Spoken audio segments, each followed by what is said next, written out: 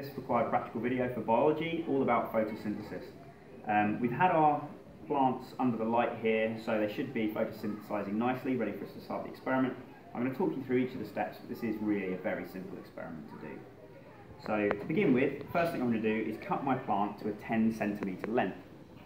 Now I'm going to cut at a slight angle so that we've got a nice point on the end of our plant and that will mean hopefully the bubbles will all come from that one sharp point and they'll be easier to count. Be very careful with the scalpels. Obviously they're very, very sharp and we don't want any accidents. Now I've got my 10 centimetre length of plant. I'm going to put it into our hydrogen carbonate solution. This is going to provide some extra carbon dioxide and mean that that is not going to be one of the limiting factors in this experiment. I'm going to make sure my plant goes in upside down. Just going to clear up a couple of those spare leaves there so I've got a nice sharp point on it. And just in case you have difficulty getting it all the way to the bottom, you can have a glass rod handy to help poke it down, but that's gone in quite nicely. So now I'm going to stand it into my um, boiling tube rack, and I'm going to move it over here next to my meter ruler. Now we're going to take several measurements today. I'm just going to move a couple of these things out of the way. Now I recommend that you have your lamp lying down on its side because that means you get the closest possible value to your, to your zero line there and also it, it shines nicely on your, your plant giving it the best amount of light. Now you've got to leave it to acclimatise for about five minutes before you take any counts of the number of bubbles. So we're going to leave it for five minutes and we'll be back in a moment. Okay, we've waited our five minutes and now we're going to be able to start our timer and see how many bubbles we get in a one minute time period. Now you need to look right at the tip of the cut part of the plant and that is where the bubbles are going to start coming out. So there was one. Now depending on how active your plant is and how well it's photosynthesizing, you may get a very small number of bubbles like we are getting at the moment or sometimes you get a fairly steady stream of bubbles.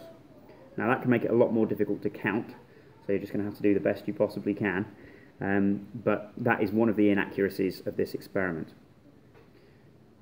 So there you go, you can see hopefully that we're getting a few bubbles coming out there. Now, rather than sit here and show you the entire experiment, which take a very long time, I'm just going to talk you through the stages that will be coming next. So you can see that right now we are getting a fair few bubbles coming up.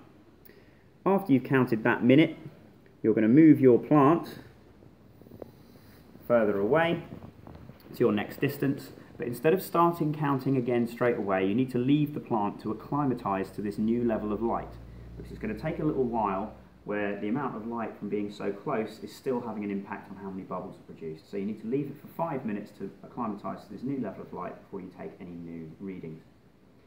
Then, once again, you move it further away, leave it to acclimatise, and then take the next set of readings. So it's as simple as that. That's the photosynthesis experiment.